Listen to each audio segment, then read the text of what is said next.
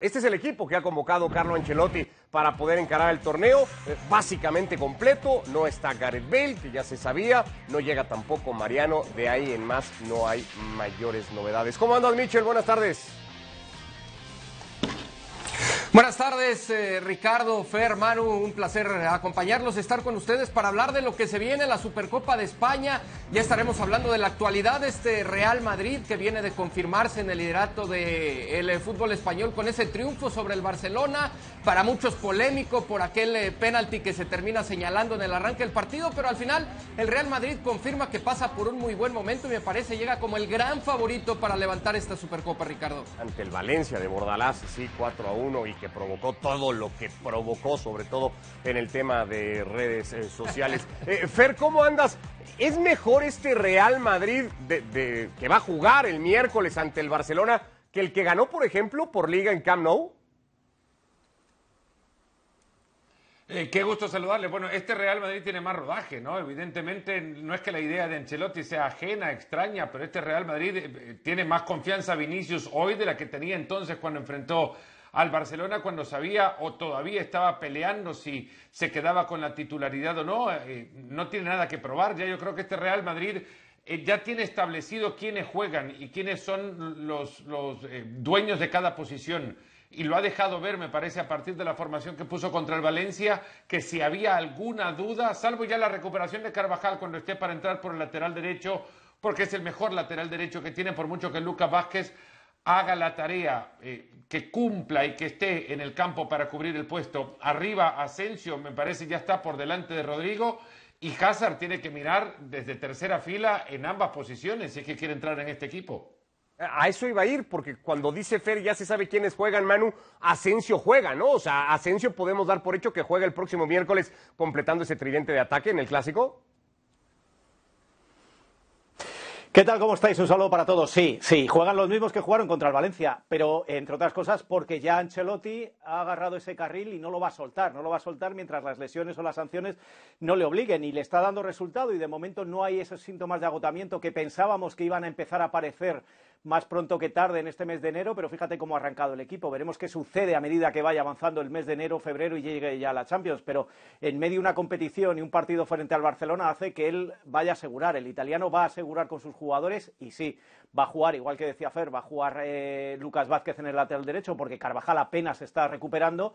Eh, arriba va a jugar eh, Asensio porque además, dentro del nivel que no es el que se espera de Asensio, sí está subiendo varios peldaños con respecto al nivel que le hemos visto en algunas temporadas y sobre todo en el arranque de esta. Con lo cual, la confianza en Asensio es, está por encima de Hazard, de Rodrigo, ya, ya, no hablamos de Bale, ya aquel jugador que tenía el Real Madrid, ya ni, que fue el más caro en su momento, ya ni hablamos de él. Sí, sí, Y ahí tiene razón, Manu. A ver, yo inconscientemente lo ponía tercero en la lista, pero es que yo inconscientemente ya no cuento con Bale.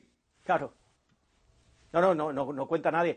Mira, eh, se está hablando poco. Eh, Bale eh, lo que ha dicho a los médicos es que tiene dolores y los médicos te dicen que no hay que no hay lesión, que ellos no encuentran la lesión por, en ningún lado, que tiene dolores de espalda.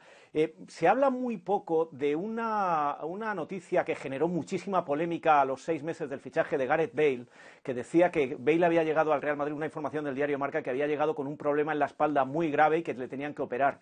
Bale no ha levantado cabeza con esos problemas de espalda, salvo en contadas ocasiones y momentos muy puntuales. Y el Real Madrid se escandalizó porque saliera aquella información.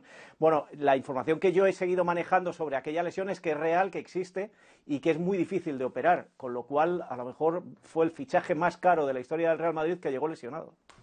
Pero damos ya por, por descartada cualquier posibilidad de que pueda reaccionar Gareth Bale. Digo, eh, lo pregunto, Ricardo, por, por, lo que ha hecho Ancelotti, ¿no? Con este equipo del el Real Madrid, porque ha recuperado la mejor versión de Vinicius, que está haciendo una, una dupla muy buena con Benzema. La recuperación también de Asensio, cuando parecía, había y existía cierta diferencia con el director técnico.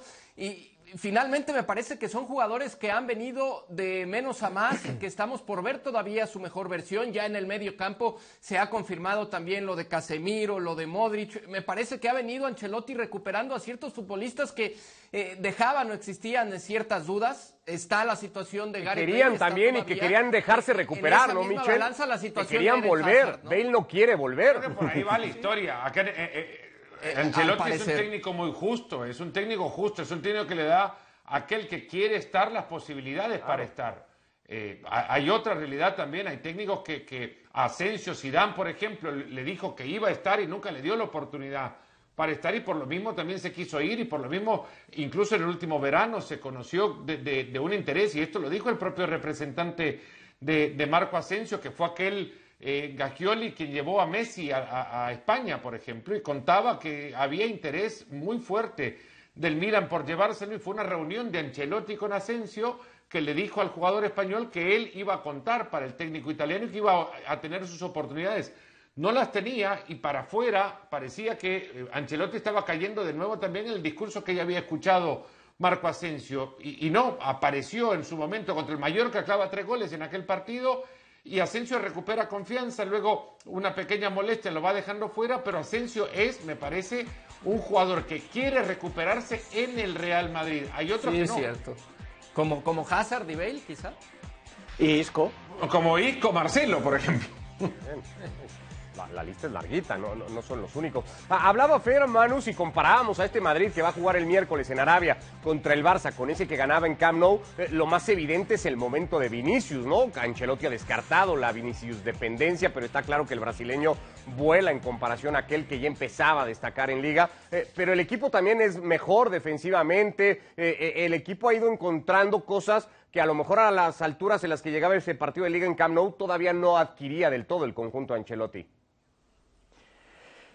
Sí, sobre todo por las lesiones que tenía en defensa, que no terminaba de hacer una defensa coherente Ancelotti, pero porque no tenía jugadores, porque cuando no era uno era otro el que andaba lesionado. Acordaros que Nacho llegó a jugar en las cuatro posiciones. Por ahí, yo más que por el lado de Vinicio, que también no le, no le resto ningún mérito a lo que están haciendo Vinicio y Benzema, más que, que nadie me entienda mal, pero yo creo que una de las partes en las que ha salido reforzado el Real Madrid con el desarrollo de la temporada ha sido que se hayan asentado Militao y Álava. Acordaros cómo empezaron los dos y no había demasiada confianza. De hecho, Álava parecía que iba a estar más, y así lo decía Ancelotti en privado, iba a estar más jugando por la izquierda porque Mendí estaba lesionado y porque Marcelo pues está ya para lo que está el hombre. Y sin embargo, eh, se han asentado los dos como centrales, Militao y Álava, se conjugan perfectamente. En la derecha sigue habiendo esos problemas de lesiones de Carvajal, pero cuando no es Nacho es Lucas Vázquez quien lo soluciona. Y qué decir de Mendí, que para mí sí que es una de las revelaciones de este equipo sin hacer demasiado ruido. Con lo cual, con respecto a aquel partido del Camp Nou hay muchas, muchas cosas que hacen que aquel partido el Real Madrid lo ganó sin jugar al 100%, porque yo me quedé con la sensación de que el Real Madrid podía haber apretado más, pero a lo mejor no apretó más porque no estaba todavía el equipo como está ahora, y sobre todo para mí eh, el centro del campo no lo vamos a descubrir, esto ya es histórico en el Real Madrid, que no sé si es bueno o malo que tantos años lleven esos tres ahí, eso significa que ha habido poca renovación, pero bueno, si da resultado, da resultado. Pero, por encima de todo me quedo con, el desarrollo de la defensa y la seriedad y la solidez que está mostrando en todos estos partidos.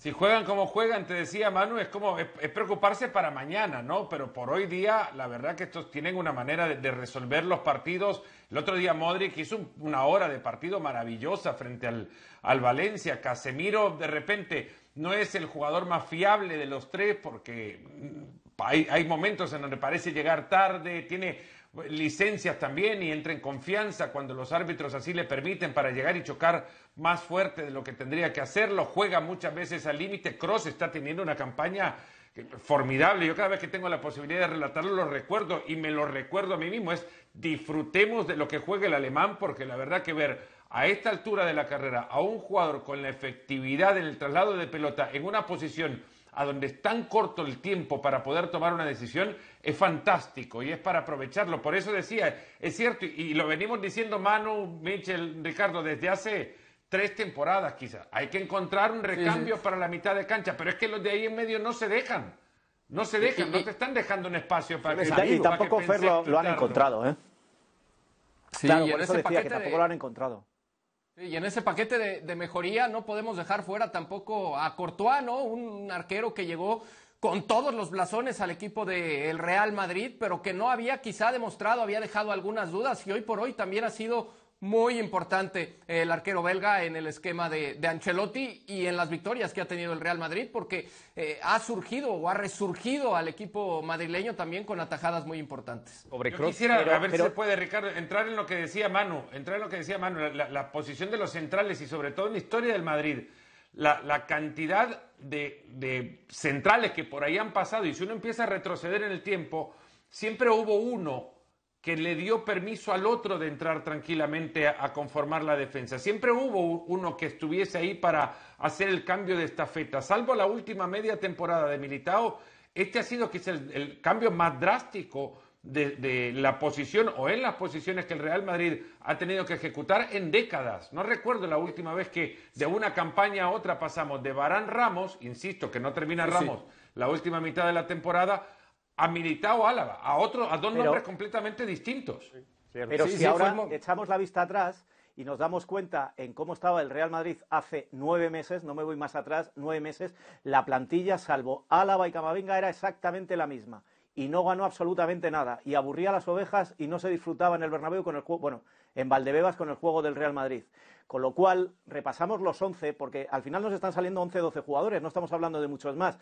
Y para mí me parece que lo más justo es decir que este año lo que realmente tiene el entrenador, además el, Real Madrid es entrenador, además de casi la misma plantilla del año pasado. Bueno, hay automatismos arriba, Manu. Hay, hay, hay, hay una idea, uno empieza ya partido a partido, lo otro es que sepas qué hacen y, una cosa es saber lo que hacen, otra cosa es evitarlo cuando lo hacen por la calidad que tienen los jugadores, pero cuando empezás a notar que ya hay un, modelo de juego, que hay eh, intención de asocio sobre los costados, que hay libertades y caminos en pasillos interiores para que por ahí suban Modric o Cross cuando la pelota no esté en su costado. Cuando, cuando notas que, que, Modric se tira sobre la banda para asociarse con Asensio y se suma Benzema por ahí. Cuando Benzema tiene libertad para el recorrido al otro costado y se asocia con Vinicius y Mendy. En realidad hay automatismos en ataque que no se le veían o rara vez se le encontraban al Madrid las temporadas anteriores. Pero no es muy duro ese juicio porque, porque no se nos puede olvidar las 50 lesiones del Real Madrid en la temporada última de Zinedine Zidane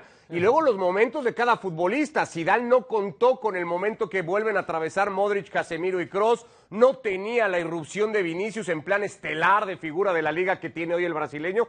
Eh, esos momentos tampoco estaban en el Real Madrid. Pero son momentos que ha provocado también el técnico, ¿no? Que ha provocado Ancelotti, insisto, en esa, en esa mejoría. Y, lo que decía Fer, solo para profundizar en el tema de los centrales, porque fueron Ricardo, Fer, Manu, quizás las salidas más polémicas del Real Madrid, lo de Sergio Ramos en su momento y lo de Rafael Varana, quien por ciento hoy lo vimos con el Manchester, pero hoy el Madrid, la realidad es que no extraña a ninguno de esos dos futbolistas y sobre todo el caso de Sergio Ramos, que quizá fue el que más castigó la afición merengue, ¿no? Saldrá favorito seguramente por la posición que ocupa en tabla en la liga para el partido del miércoles. ¿Sale obligado también, Manu, el equipo de Ancelotti a tener que derrotar al Fútbol Club Barcelona?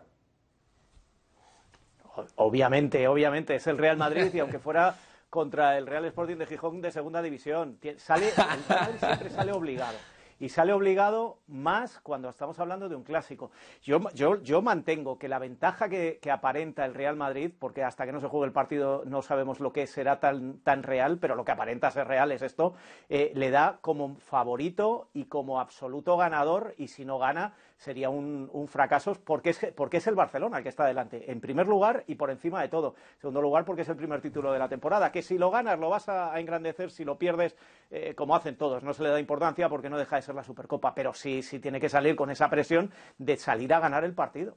Acá, acá hay una realidad, hay uno de los cuatro equipos que no le va a doler quedar eliminado en semifinales o perder la Copa o el torneo que es el, el Athletic Club. Los otros tienen consecuencias. Los otros tres tienen eh, van a, tener alguna consecuencia. No digo drástica, dramática, eh, pero ciertamente van a, sentir el golpe de cualquiera sea un resultado que no sea ganar el torneo. Valverde fue destituido nada más perder la semifinal con el Atlético de Madrid.